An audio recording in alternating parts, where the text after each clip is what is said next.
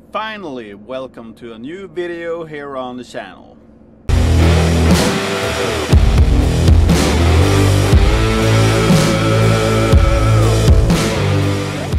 So, I've been working on my boat.